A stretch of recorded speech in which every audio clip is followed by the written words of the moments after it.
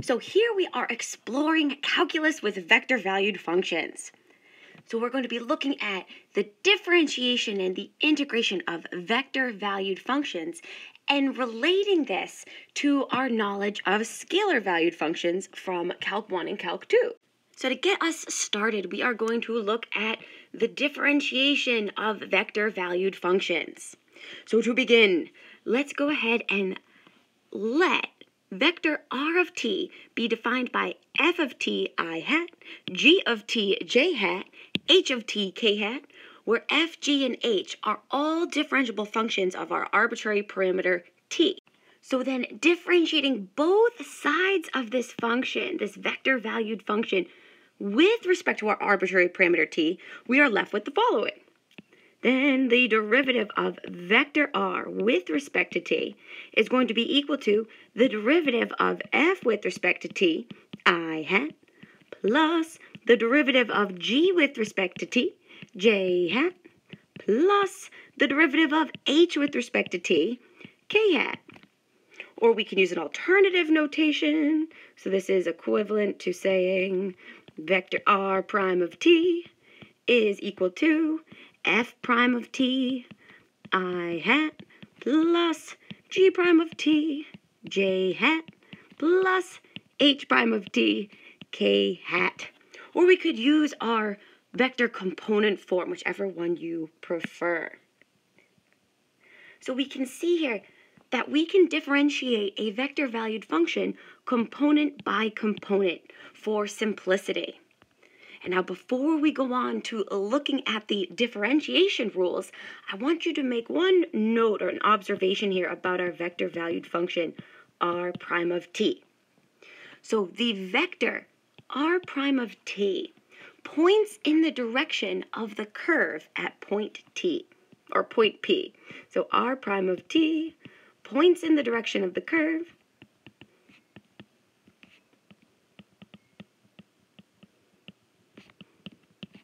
of the curve vector r of t at some point p.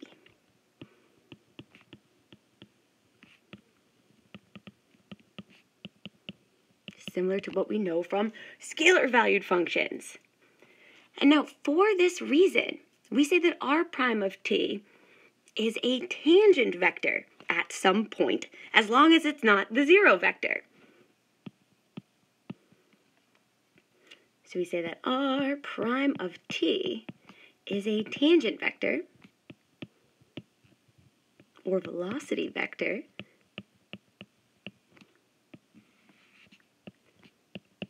at point P. And again, this is as long as it's not the zero vector. So provided that r prime of t does not equal the zero vector.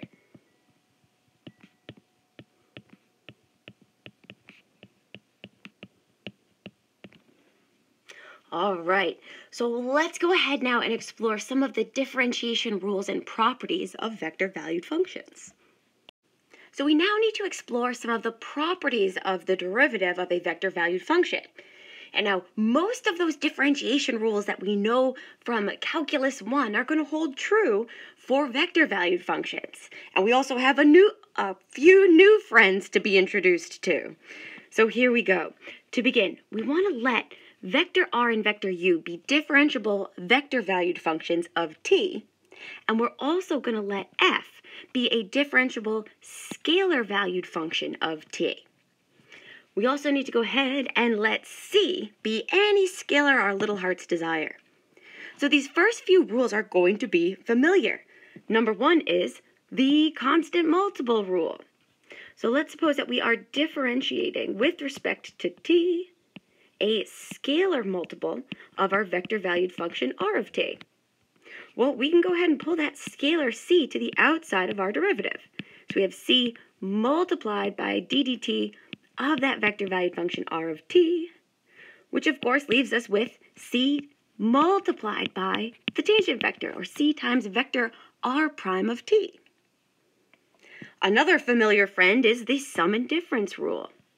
So let's suppose here that we are, again, differentiating with respect to t, the sum or difference of two two vector valued functions. We have vector r of t plus or minus vector u of t.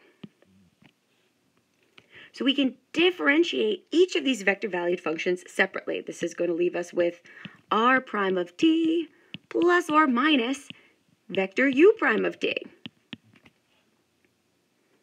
The product rule is another good old friend. And now here we have to be careful because we know that there are several multiplication operations with vectors. When we're talking about the product rule, this is going to be the product of a vector valued function and a scalar valued function. So let's suppose that we are taking the derivative with respect to that arbitrary parameter t of the product of vector r of t with the scalar valued function f of t.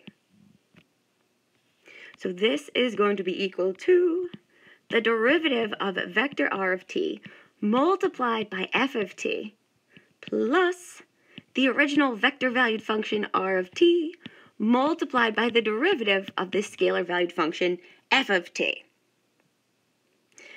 Now with number four, property number four, the dot product rule, this is going to be when we have the product of two vector valued functions. So let's suppose that we are differentiating with respect to t the product of vector r of t with vector u of t. So we have the dot product of these two vector valued functions, and the differentiation is very similar to the product rule. So we're going to be left with the sum of two dot products. We have vector r prime of t dotted with the original vector u of t plus the original vector r of t dotted with the derivative of vector u of t. So property number five, our cross product rule, is when we are taking the cross product of two vector valued functions. So let's suppose that we are differentiating here with respect to t the cross product of vector r of t with vector u of t.